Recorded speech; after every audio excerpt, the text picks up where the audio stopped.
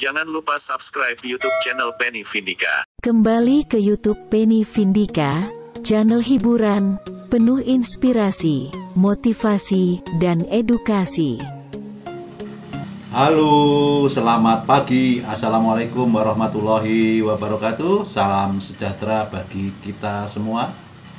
Saudara, di video kali ini kami akan sedikit sharing atau menjelaskan tata cara mengurus apa Pak Bidi?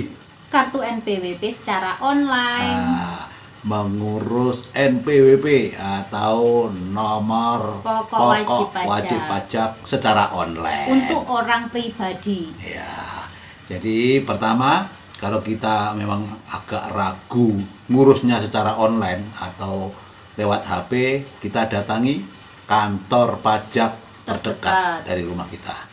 Dan kali ini saya sudah bertanya-tanya ke kantor pajak dan di sana di depan kita diterangkan oleh Bapak security yang sangat welcome banget. Nah, jadi di pos kita dikasih Brosur. brosur seperti ini guys nah brosur seperti ini nah, brosur ini di dalamnya ada panduan pendaftaran wajib pajak orang pribadi nah, di sini khusus orang pribadi. jadi kita dikasih ini terus suruh ngisi nah biodata kita linknya pajak.co.id. nah kita buka linknya situsnya di Pajak. pajak.go.id nah, di Jangan sampai salah Hmm. karena banyak link-link yang nggak resmi dan ini yang sangat resmi dari kantor pajak kantor direk- dari kantor direktorat, Direktorat pajak setempat Pajak. di kebetulan saya berada di Kabupaten Malang guys jadi kita datang ke sana terus dikasih ini kita isi sesuai dengan data pribadi kita masing-masing pertama kita harus punya emailnya dan passwordnya. passwordnya seperti ini ya Hmm. Nanti Nah. kita ikutin langkah-langkahnya di sana. kita isi begitu. semua. berhubung tadi Ada sedikit kendala. ada sedikit kendala. Ini terus terang saya menguruskan punya Mbak Vidi Saya putri saya. Hmm. karena dia sudah bekerja otomatis sama perusahaan suruh ngurus NPWP berhubung kakaknya bermasalah karena kakak itu kami perpindahan dari provinsi Kalimantan. Utara jadi harus di upgrade dulu di kantor. Disduk Capil. Nah, jadi saya harus naik kendaraan ke kantor kapil setempat sana untuk Upgrade. upgrade atau memperbarui ya. Hmm. Jadi Karena sistemnya tadi nggak bisa untuk Nah. daftar. divalidasi biar ganti yang baru, bukan ganti kakaknya maksudnya. Cuma Cuma di-upgrade di-upgrade aja aja. linknya. linknya. Akhirnya sudah jadi. Terus diisi lewat online. Bagaimana cara mengisinya, Pak Bidi?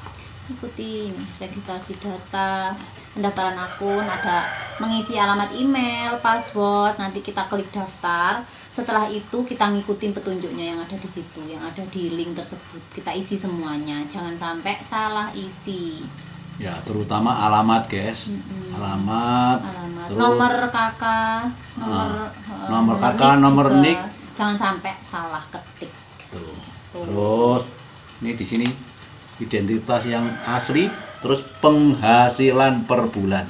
jangan lupa diisi diisi harus diisi tuh, karena kalau nggak diisi otomatis Nggak tidak bisa aktif. aktif nomor NPWP-nya, nomor pokok wajib pajak.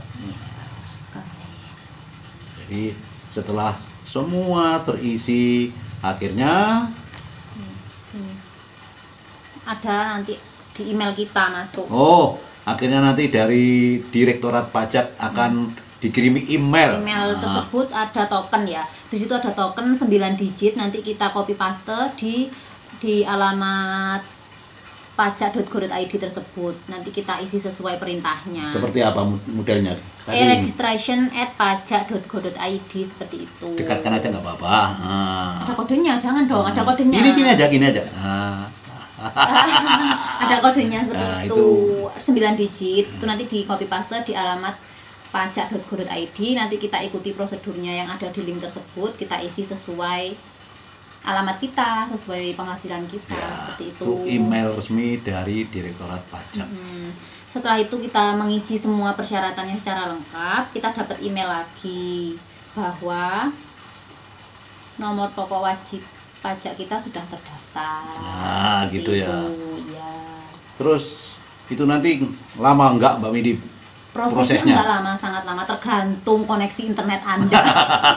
gitu. Kalau lemot ya lemot. Terus gini, untuk para youtuber, nah youtuber itu nanti kalau sudah mau mendapatkan penghasilan atau setelah monetisasi pasti akan disuruh ngurus NPWP.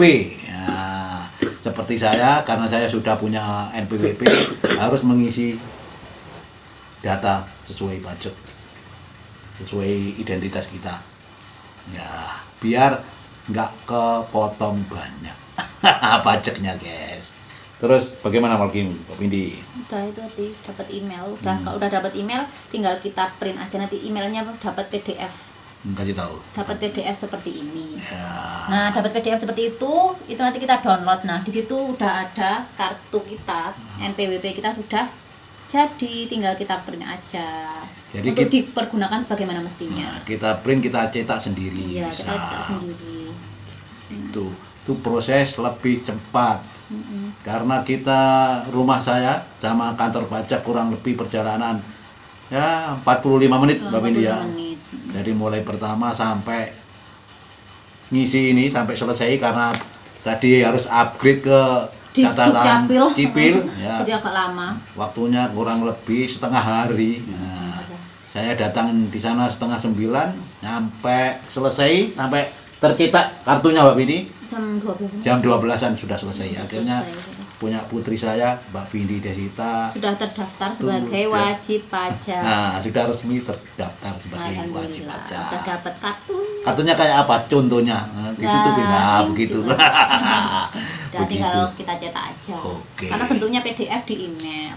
Oke oke oke itu aja informasi dari kami tentang pembuatan Atau NPWP. pendaftaran NPWP secara No. online untuk orang pribadi. Oke itu NPWP nomor pokok, Pokok wajib wajib pajak. pajak. Oke terima kasih semuanya sudah menonton video kami.